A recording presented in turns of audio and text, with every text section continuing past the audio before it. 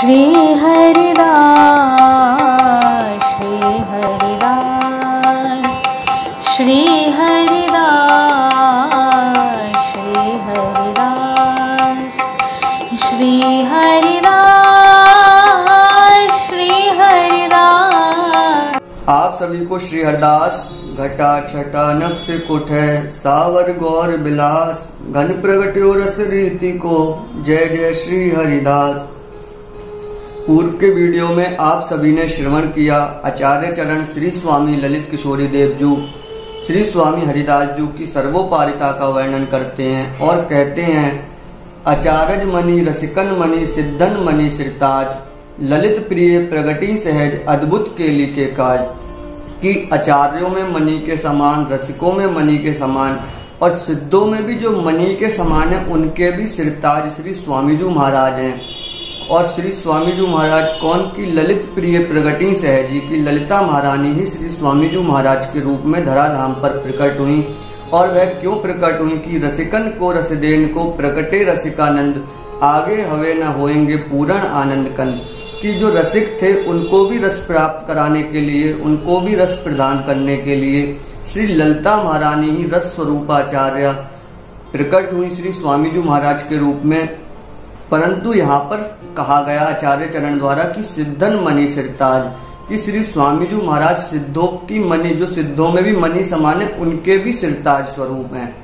और इसी सब पर आज कहा जाए हम, सिद्ध वाली बात पर ही यदि चर्चा करें तो आज की चर्चा विशेष उन सभी साधकों के लिए है, जो गुरुदेव से शरणागति ग्रहण करने के बाद या स्वामी जी से जुड़ने के पश्चात भी नाना भांति के टोटके नाना भांति के काले पीले धागे तिलक या कहा जाए जो नग, राशि इत्यादि में विश्वास रखते हैं ग्रोह की चाल के लिए अंगूठी हाथ में पहनना या घोड़े की नाल बाँध देना दरवाजे पे, जो इस भांति के छोटे छोटे टोटकों में विश्वास रखते हैं, आज का विषय मुख्यतः उन्हीं साधकों के लिए है कि श्री स्वामी जी महाराज को सिद्धन मनी सिरताज क्यों कहा गया? एक बार की बात है कि पर्वतपुरी नाम के एक सिद्ध संत, जो इतने बड़े सिद्ध थे कि वह सौ रूप बदलना जानते थे और सौ रूप बदलने के साथ साथ उन्हें रसायन क्रिया में इतने निपुण थे कि मिनटों में कई टन सोना बना दें। ऐसी सिद्ध क्रिया कि वह अपने सिद्ध होने के कारण ही एक सेकंड में ऊपर के सभी लोग और धराधाम के नीचे जितने भी लोग हैं, सभी लोगों की यात्रा वह कुछ ही क्षणों में कर लेते थे। अपनी सिद्धियों का उन्हें इतना अहंकार था कि वह अपनी सिद्धियों का प्रताप लोगों के सन्मुख दिखाते और अपना प्रभाव उन पे जमाते। उनकी बड़ाई भी होती और लोग बहुत सम्मान भी करते थे। परंतु उन्होंने एक बार किसी के मुख से सुना कि, हे योगी राज आप श्रीधाम निधवन राज में जाइए। और वहाँ पे श्री स्वामी हरिदास जी महाराज विराजते हैं। आप जब उनकी शरण में जाएँगे तो स्वयं को ही भूल जाएँगे। जब ऐसा उन्होंने किसी के मुख से सुना तो उन्हें बड़ा आश्चर्य हुआ और कहा जाए तो हृदय में थोड़ी सी ठेस भी लगी। वह इसलिए कि मैं इतना बड़ा सिद्ध हूँ, मुझसे बड़ा सिद्ध इस धराधाम पर कौन है, जिसके सन्मुख जाने के पश्चात मैं स्वयं को ही भूल जाऊँगा। जब उन्होंने ऐसा सुना तो मन में संकोच लिए हुए और कहा जाए तो मन में थोड़ी सी पीड़ा लिए हुए वह श्री धाम वृंदावन की ओर बढ़े और जब वृंदावन की सीमा में प्रवेश किया तो श्री धाम वृंदावन को दंडवत प्रणाम करते हुए वह श्री निधवन राज की ओर गए और निधवन राज में श्री स्वामी जी के सन्मुख हुए। स्वामी जी को दंडवत प्रणाम करने के पश्चात वह उनके श्री चरणों में विराजमान हुए। जब योगी राज श्री स्वामी जी महाराज के श्री चरणों में विराजमान हुए फिर उनके शिष्यों ने श्री स्वामी जी महाराज से कहा कि स्वामी जी महाराज, यह हमारे गुरुदेव हैं और ये बहुत ही बड़े सिद्ध हैं। एक ही मिनट में ये सौ रूप बदल सकते हैं और ये जहाँ चाहे छुप जाए, इन्हें कोई ढूंढ नहीं सकता। और ये रसायन क्रिया में इतने निपुण हैं कि कुछ ही क्षणों में कई टन सोना बना सकते हैं और सभी लोगों की यात्रा अपनी योग क्रिया द्वारा ये कुछ ही समय में कर सकते हैं। श्री स्वामी जी महाराज तो श्री बिहारी बिहार इनके बिहार में ही इतने मगन रहते थे कि उन्हें किसी के प्रभाव से प्रभावित होने की तो कोई एक परसेंट भी चांस ही नहीं थे। कहा जाए तो एक परसेंट भी वह किसी के प्रभाव से प्रभावित ही नहीं होते थे, क्योंकि सतत बिहारी बिहार इनके बिहार में मगन रहना यही स्वामी जी की रसरीति और यही स्वामी जी का स्वरूप था। स्वामी जी महाराज ने जब इतना उनका बड़ाई और इतने उनके प्रभाव और सिद्धियाँ सुनी तो स्वामी जी महाराज ने बड़े सहज भाषा में उत्तर दिया और बोले, बहुत ही सुंदर, यदि ये ऐसे सिद्ध है, परंतु आज इनका भाग्य खुला है, जो ये श्रीधाम वृंदावन में आए हैं और वृंदावन की रज का सेवन कर पा रहे हैं। अब तो मानो ऋषिराज, जो पर्वत पुरी जी थे, उनके हृदय में आग लग गई हो कि आज मेरे भाग्य खुले हैं। क्योंकि पर्वतपुरी जी की आयु एक हज़ार वर्ष की थी, वह 500 वर्ष की अवस्था को पूर्ण कर चुके थे और 500 वर्ष की शेष थी। परंतु जब श्री स्वामी जी महाराज से सुना कि आज इनके भाग्य खुले हैं तो उनके हृदय में पीड़ा हुई कि मैं 500 वर्ष से इतनी सिद्धियाँ अर्जित करने के पश्चात क्या आज मेरे भाग्य खुले हैं? ऐसा क्या है ब्रजरज में? अपने अहंकार के कारण श्री स्वामी जी महाराज से बोले कि श्री स्वामी जी महाराज, मैं सौ रूप बदलना जानता हूँ और मैं ऐसे छुप सकता हूँ कि आप मुझे ढूंढ के दिखाएँ।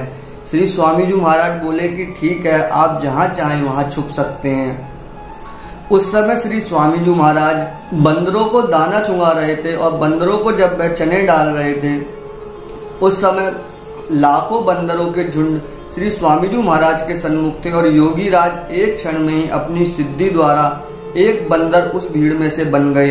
अब इतने बंदरों में वह योगी राज कौन से बंदर है, ये पहचानना मानो बहुत ही असंभव है, जहाँ लाखों बंदरों का झुंड वहाँ पे एक बंदर के रूप में योगी राज का आना। परंतु श्री स्वामी जी महाराज ने जब योगी राज स्वामी जी के सन्मुख बंदर के रूप में आगे आए, जैसे ही श्री स्वामी जी महाराज उन्हें चने देते हुए बोले कि, हे योगी राज आज तुम्हारे बड़े भाग्य की तुम बंदर के रूप में श्री धाम वृंदावन में रज में बैठ के चनों का सेवन कर रहे हो। योगी राज तुरंत ही समझ गए कि स्वामी जी महाराज कोई साधारण व्यक्ति नहीं, कोई साधारण संत नहीं, ये तो कोई दिव्य शक्ति और सिद्ध मालूम पड़ते हैं।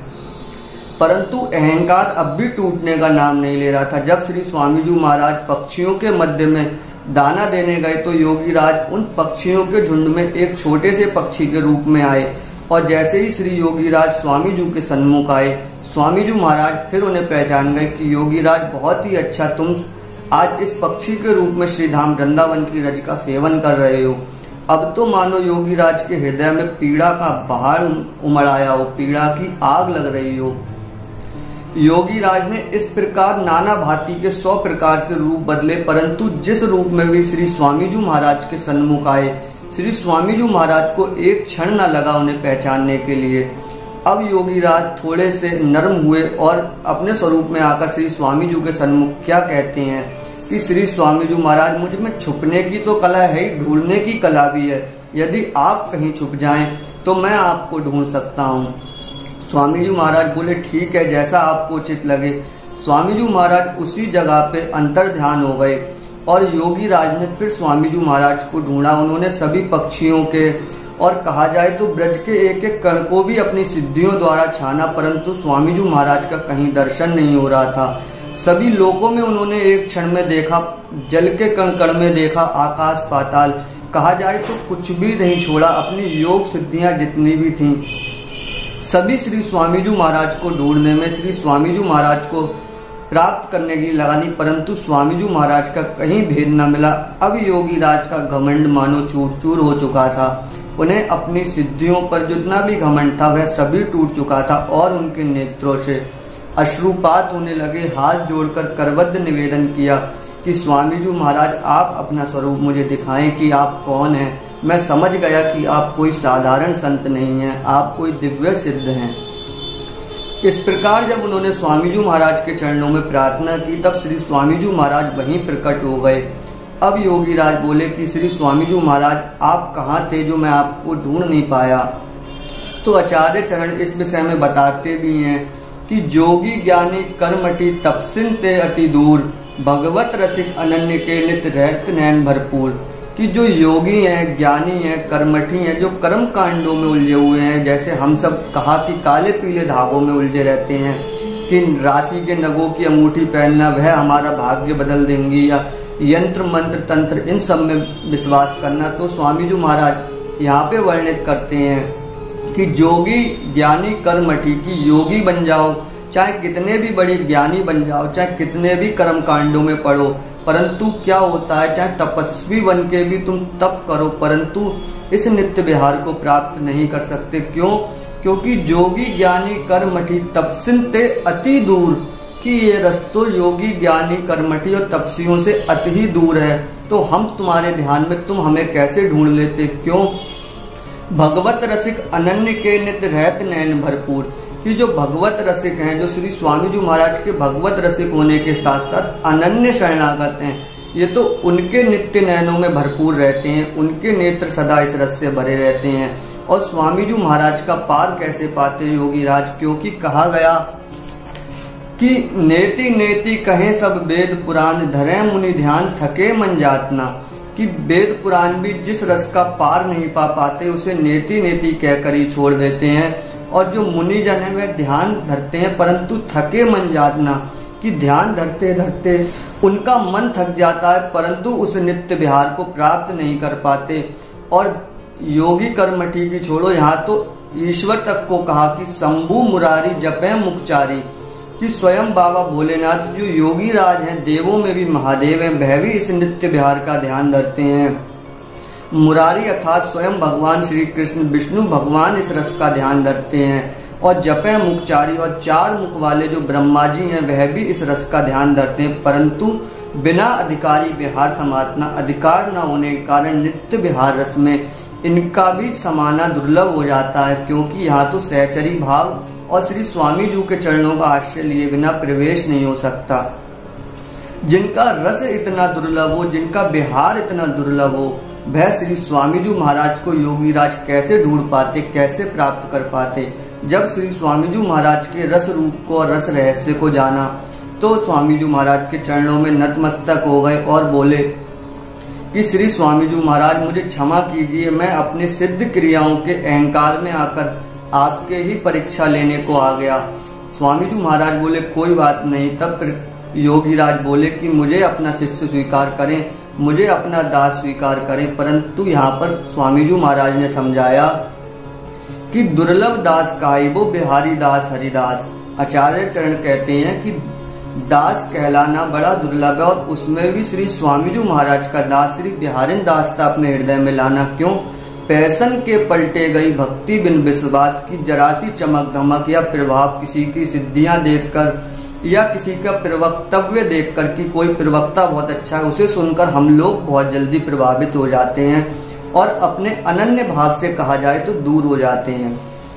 तो इसलिए कहा गया कि दुर्लभ दास कहा वो कि है योगीराज, दास कहलाना अत्यंत दुर्लभ है, उसमें भी बिहारी दास बनना क्यों? फ़ैशन के पलटे गई भक्ति बिन विश्वास की जरासी योग क्रिया प्रभाव या धन संपत्ति के लिए भक्ति और विश्वास दोनों ही चले जाते हैं। परंतु योगी राज तो मानो श्री स्वामी जी महाराज के चरणों में नतमस्तक हो चुके थे। तब श्री स्वामी जी महाराज ने उनके शीश पर अपना हस्त कमल रखा और नित्य विहार की उन्हें वह दुर्लभ झांकी कराई।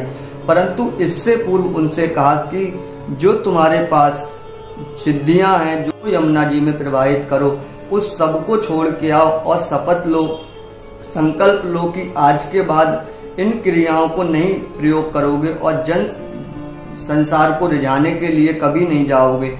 जब योगी राज जी ने अपना ये संकल्प लिया और योग क्रियाएँ छोड़ी, तब उन्हें श्री स्वामी जी महाराज ने अपनी शरणागति प्रदान की। कहा जाए, तब वह अनन्य भाव से श्री स्वामी जी के शरणागत हो पाए। और फिर स्वामी जी महाराज ने जब उनके शीश पे अपना हस्त कमल रखा, तब वह दुर्लभ रस की झांकी उन्हें हुई और उनका नाम श्री स्वामी जी महाराज ने प्रकाश दास रखा। इस प्रकार योगी राज को श्री स्वामी जी महाराज ने अपने दिव्य स्वरूप का दर्शन दिया और कहा जाए तो स्वामी जी महाराज के जीवन की ये लीला एक बड़ी ही छोटी सी है। उनका जीवन ऐसी लीलाओं का अथा सागर है और हम लोग देखें आज इस लीला का, इसीलिए आपके मध्य वर्णित किया क्योंकि स्वामी जी से जुड़ने के बाद भी हमारा विश्वास प्रभाव में आकर या किसी की सिद्धियाँ या मंत्र तंत्र में इतना आ जाता है कि हम श्री स्वामी जी महाराज पे भरोसा नहीं कर पाते और आचार्य कहते हैं, मोहे भरोसो स्वामी जी को कि भरोसा सिर्फ़ स्वामी जी के चरणों में हो, किसी के प्रभाव में प्रभावित ना हो। हम किसी के प्रभाव में प्रभावित जब होते हैं तो कहीं ना कहीं हमारे मन में होता है, शायद हमारे स्वामी जी महाराज ये काम ना कर पाए तो ये काम वह अंगूठी कर देगी जो उस ज्योतिष ने बताई है या उस सिद्ध ने बताई है। परंतु इतनी छोटी मानसिकता रख के अनन्य भाव का खंडन करना, ये अपने विश्वास की कमी ना होने का प्रमाण देना है। इसलिए श्री स्वामी जी के चरणों में विश्वास बने, आप चर्चा श्रवण करें, सत्संग श्रवण करें, उनका नाम जाप करें, नित्य ही श्री स्वामी जी महाराज का नाम जपें। तभी आपका श्री स्वामी जी महाराज के चरणों में दृढ़ अनन्य भाव पूर्ण हो पाएगा। इसी के साथ आप सभी नित्य जपें, निरंतर जपें, श्री हरिदास श्री हरिदास श्री हरिदास।